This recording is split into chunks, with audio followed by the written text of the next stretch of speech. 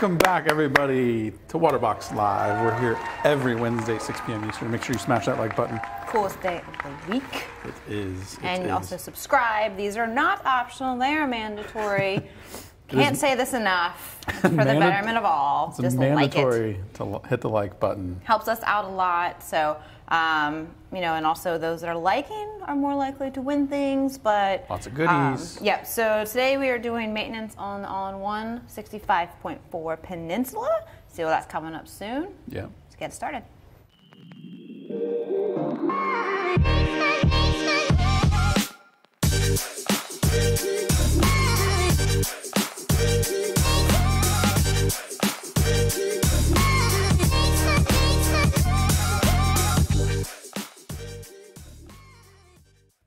And we're back. All Here right. we are. The best intro ever. I love it.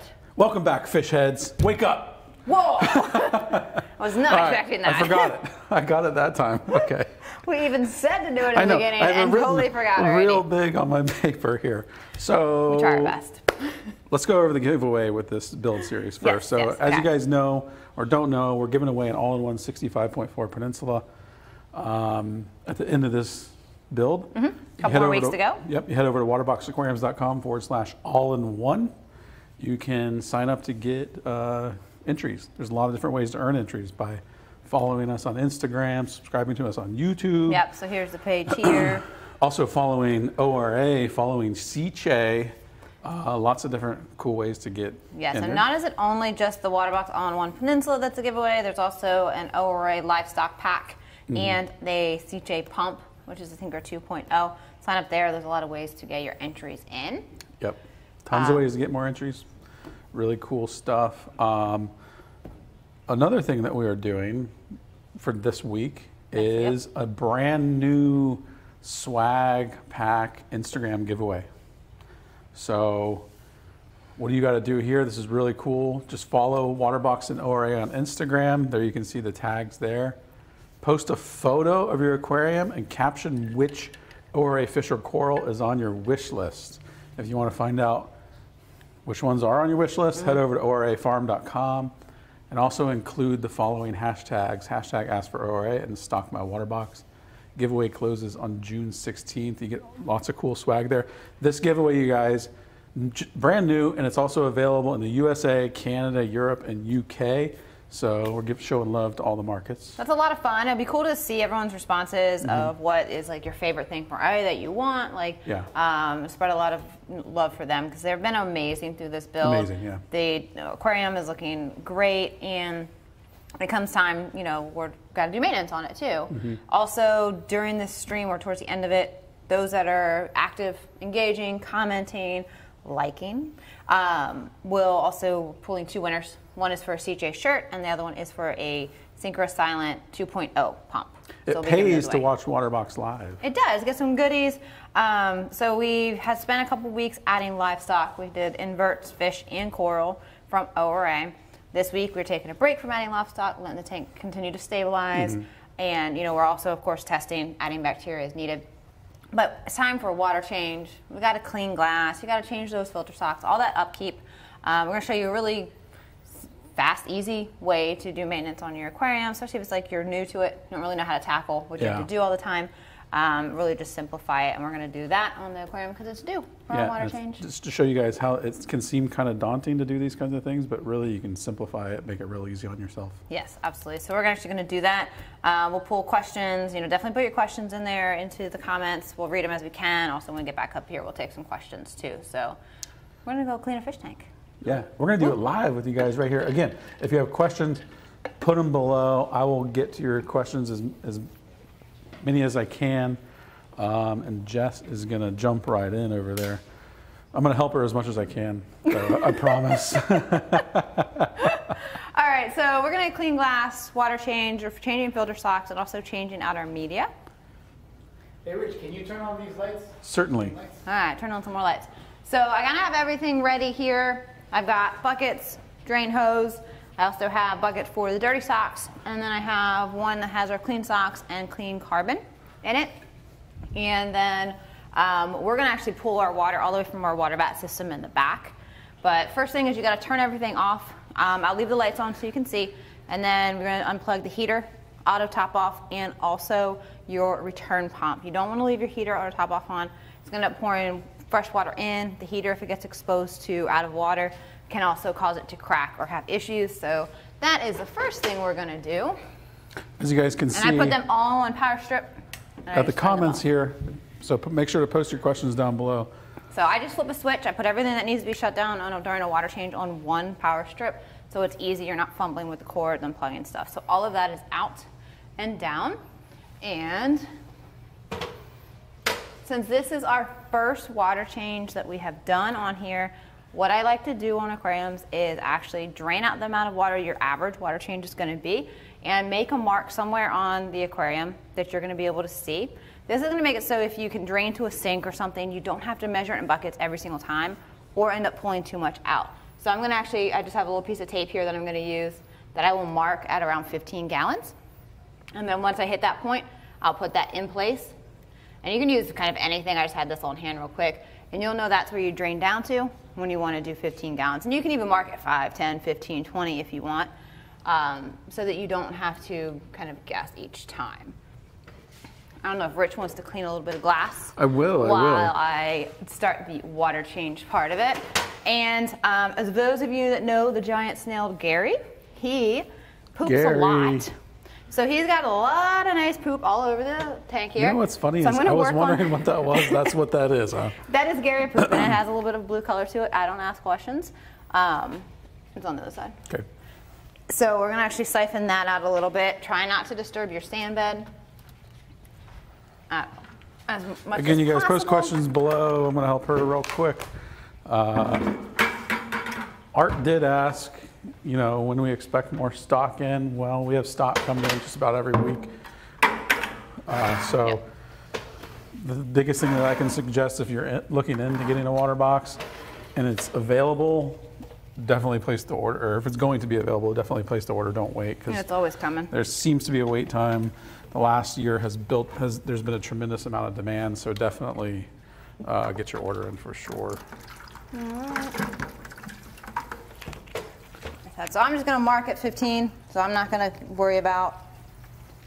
I'm really just gonna clean up some of our mega snail poop. I didn't know he was gonna poop this much, but he's cool. It's that is hilarious, just because I was looking in here like, could that be what that is? Oh yeah, he leaves a trail everywhere. But he's doing a good job. He's like the only snail in here, He's and he's well doing a great job. So I'm just Well gonna spot up that. You do not want to disturb your sand bed. You do not want to um, dig into your sand. I'm just doing this to remove it off.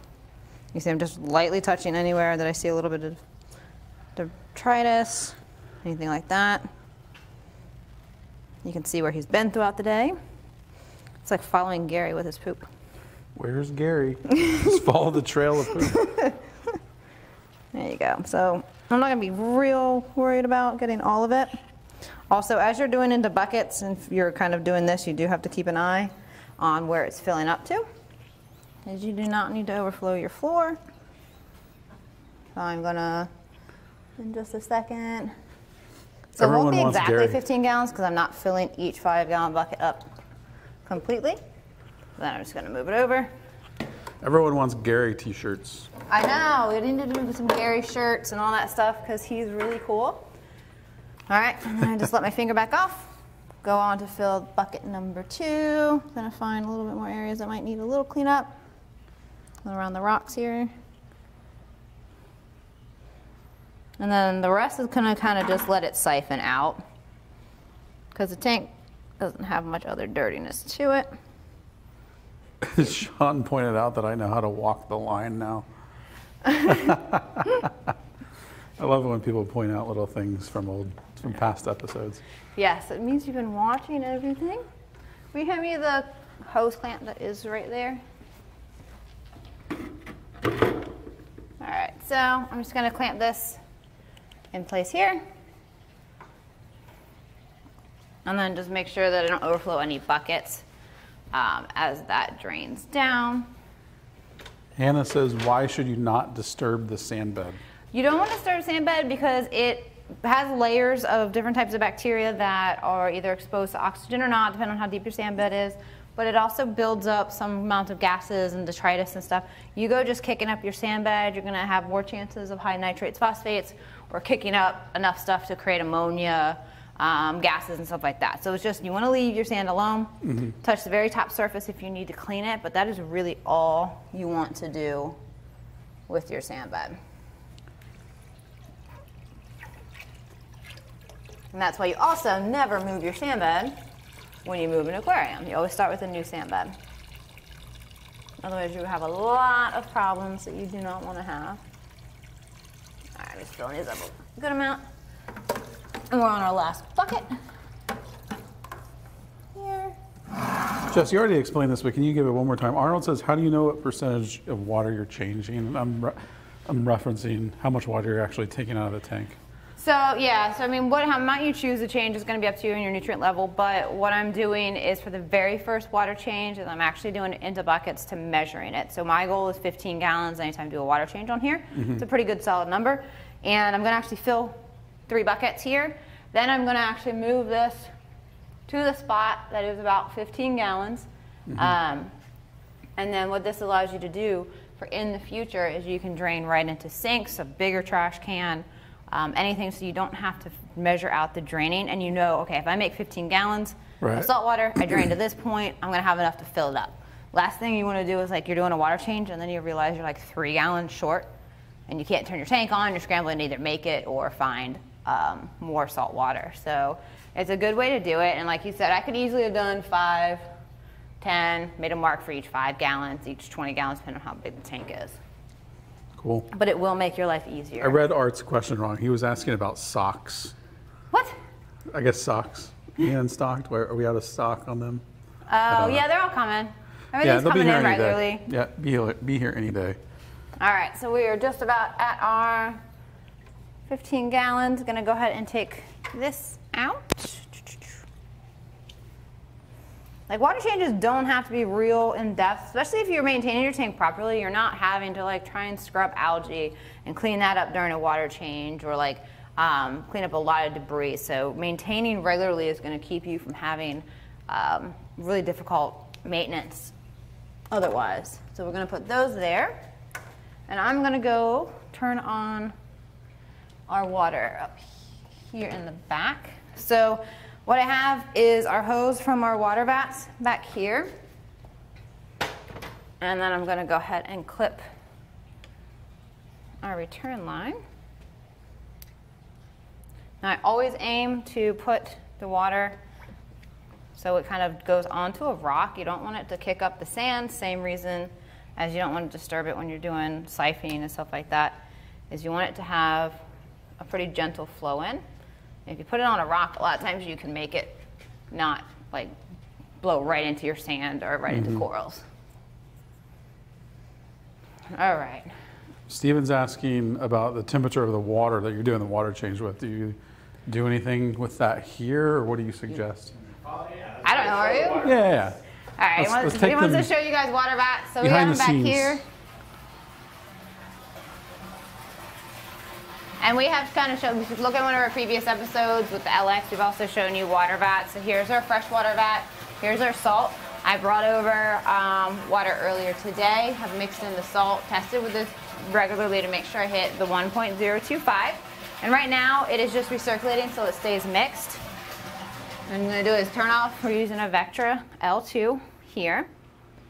And I'm gonna close the recirculating part here and actually open it to the hose that's going to the tank.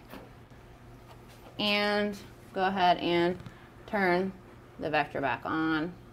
Bring it up a little bit and it's gonna pump water all the way over. And we've made it so that we can reach the whole studio with these water vats so that we are not lifting buckets and stuff like that. We are just kind of flowing the water in. So you see it's hitting right on top of that rock.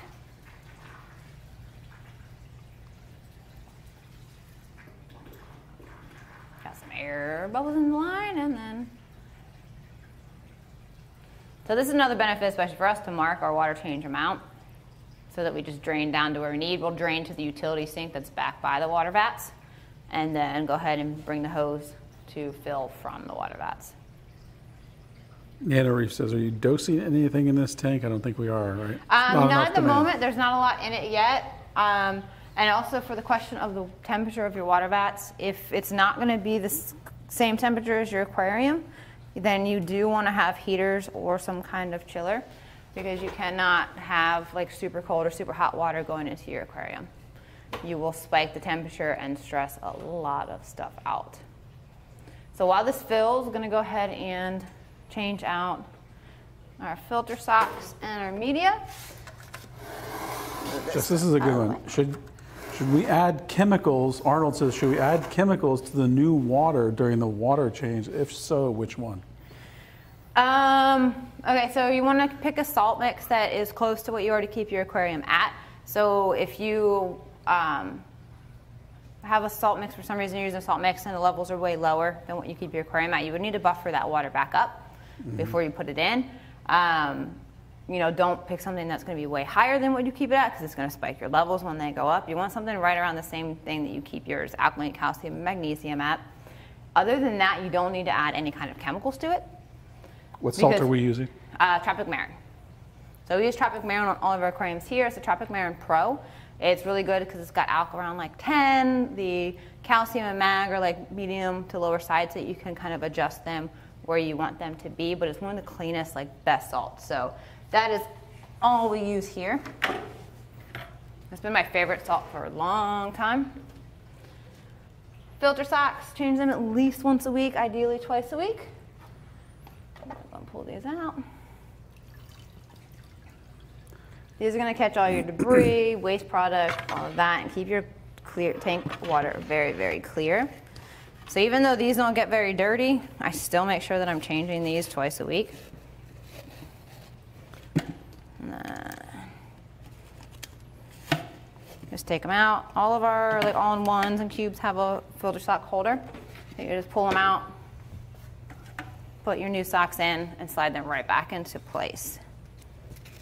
But nice clean socks are going to be a big difference on how well your tank flows, but also uh, keeping the water nice and clear. A lot of people have problems keeping their water clear, and it just comes down to not a good enough um, mechanical filtration.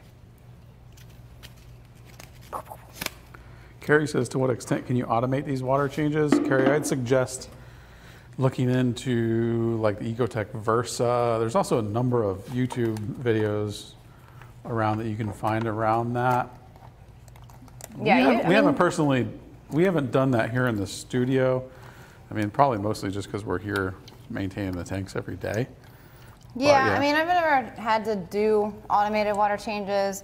It does take a lot of um, thought setup because you have to have somewhere that the water goes, somewhere it's constantly feeding from. You've got to have the pumps that can calculate in and out uh, what you are replacing. There. I also think the word automated is is somewhat, you know, maybe misrepresented because it's only automated in the in the fact that it's pulling water. It's just doing the water change for you, but there's so much that goes into it, and also so much that you have to look out for when you're actually using automated water change. Yeah, will you can't have be a- like salt water just sitting there stagnant for long periods of time. So you're gonna have to constantly have salt water made or pulling from a saltwater vat that's staying aerated. Um, you know, and a lot of people don't have somewhere that the line can run to a drain, and then Mm-hmm. also a holding system that's kind of close to the aquarium. So otherwise, you're gonna be trying to run it from another part of your house and stuff. So I mean, it just really varies on what you can do. So we have carbon here. Um, I just used some regular carbon in a media bag, rinsed it of any of the powder kind of settlement that comes with it, and that's just going to go into our middle chamber. And I put it where the water's gonna, gonna flow right nice and through it, right on the top, because the water's gonna have to go through to get to the next chamber. Um, carbon, change about once a month. It's good to do with like every other water change. Add phosphate media as needed. We do not need to at this point, so we're not gonna run any. And that's really all we gotta do is just finish. It's about to fill up another inch or so. And then you've done all your maintenance except for kind of like your just upkeep on filter socks and stuff. And you're Yep. good for another two weeks, really. I, Paul says, make sure you smash that like button. that's right. It is mandatory. I love that when the people are in there and telling them to hit the like button. So, We're doing some giveaways here at the end of the stream, so but stick like, around. yeah. So we're keeping like everything really calm. The corals and fish don't care that we're doing a water change. We're not pouring water out. We're not, you know, dumping it in. We're not doing anything that's real um, busy in there. We're keeping it really nice and calm. Quick siphon, water change, and then just changing media and socks. And that's the basics of what you need to do. Yeah. Does not have to be daunting. It can be done really quickly too. Yeah, just have everything ready, and then you're good. And then I think we're probably good to turn it back on. I wasn't able to get to this side of the glass. I was in your way. I know. Yeah, it's all good. All right, and then what I do is my pump, my hose that comes from the pump does have a little ball valve on the end, so I can kind of halt the filling just to see because I do not want my ATO to turn on. So we are putting more salt water in until the pump chamber is at the right level. All right. Now I can shut that off, spill a little water, and then go turn the water vat off real quick.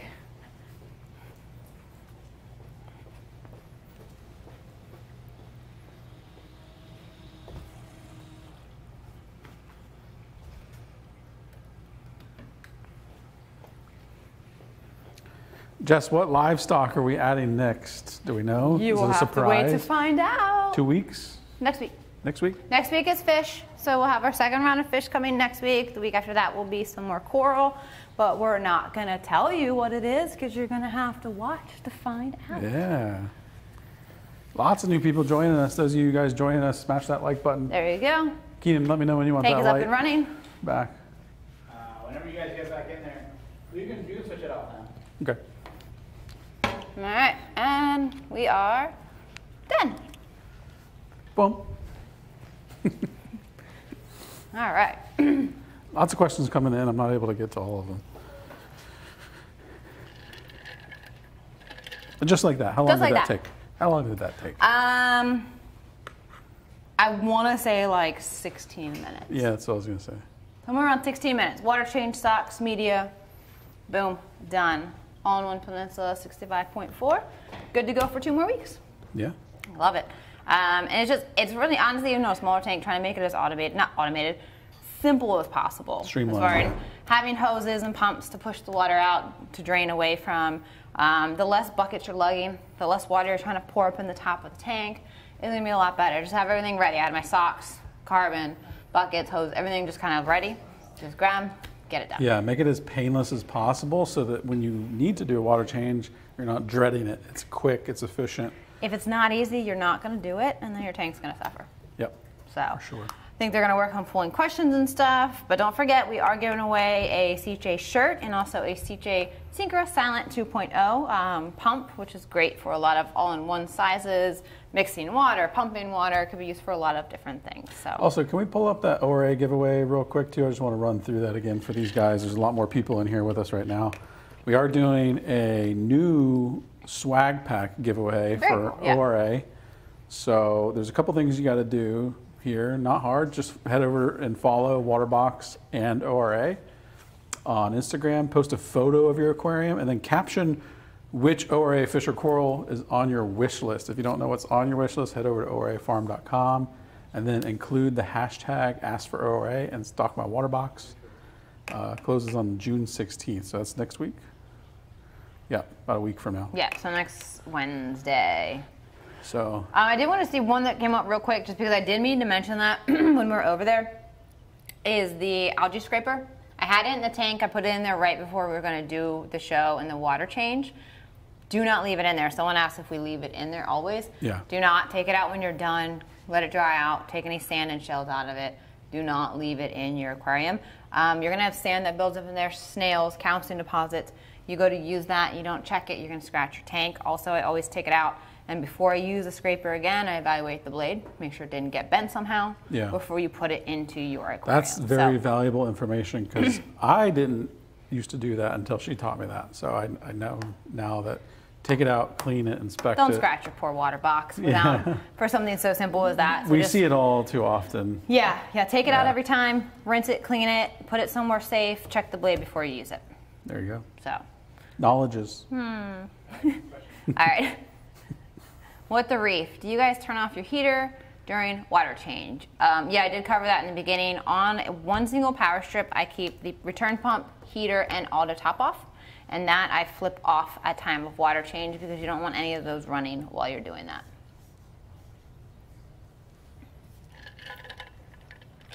Lisa says, do you rinse carbon in tap water or RODI?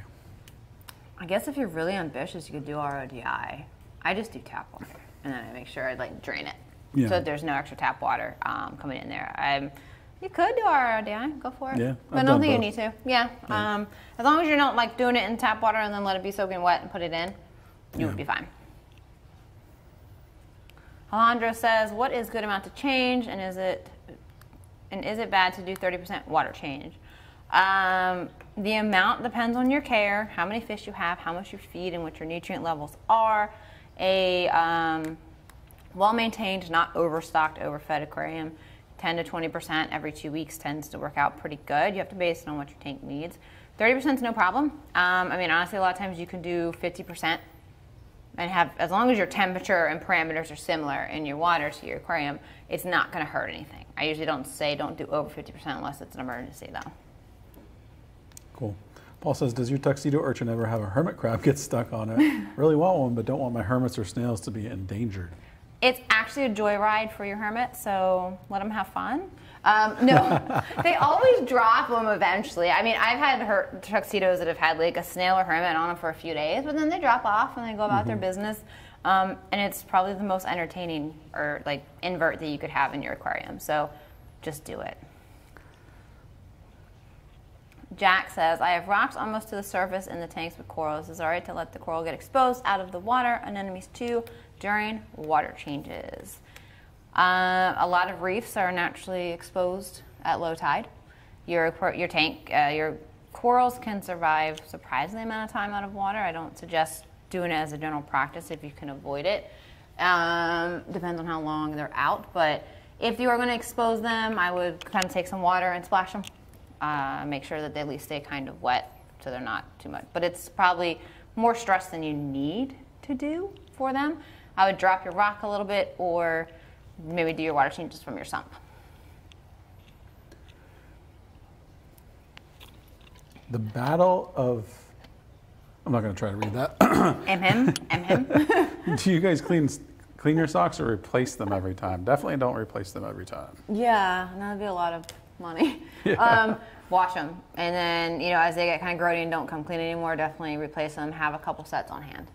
Yeah, go back to the video where we did a tour of our new studio. We'll show you the, the washer that we have here, I believe.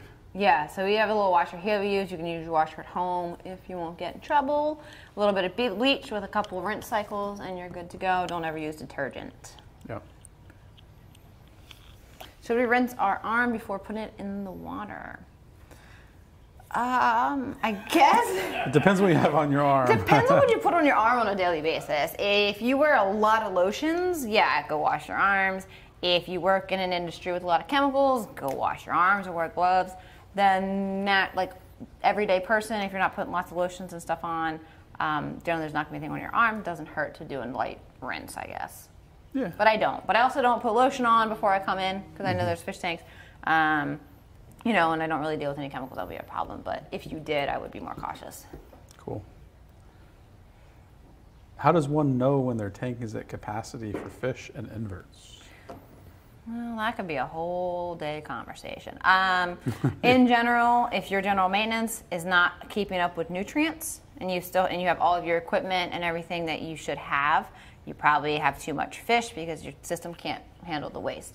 If your fish are fighting like crazy because there's not enough territory, probably too many fish. If, your inverts are eating each other, probably too many inverts. But it gets Right more on. detailed than that, but it's probably general.